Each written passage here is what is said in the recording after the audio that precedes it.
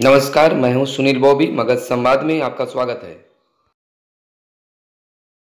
अच्छा सुनो सब्सक्राइब करते वक्त ना घंटी बजा देना ताकि जब मैं ऑनलाइन आऊँ अभी नियोजित शिक्षकों के लिए सुप्रीम कोर्ट से समान काम समान वेतन को लेकर एक बड़ी खबर आ रही है कि आज 11 सितंबर को होने वाली समान काम वेतन की सुनवाई स्थगित है। इसको लेकर परिवर्तनकारी प्रारंभिक शिक्षक संघ के गोपालगंज जिला अध्यक्ष नीलमणि शाही ने बताया कि आज पूर्व निर्धारित तिथि के अनुसार कोर्ट नंबर 11 में सभी अधिवक्ताओं ने अपनी उपस्थिति जज कराते हुए सुनवाई का आग्रह किया, जिस पर जस्टिस अभय मनोहर सप्रे साहब ने कहा कि आज बेंच नहीं होने के कारण आज सुनवाई नहीं होगी, जिस पर अधिवक्ताओं ने अगली तिथि निर्धारित करने का आग्रह किया।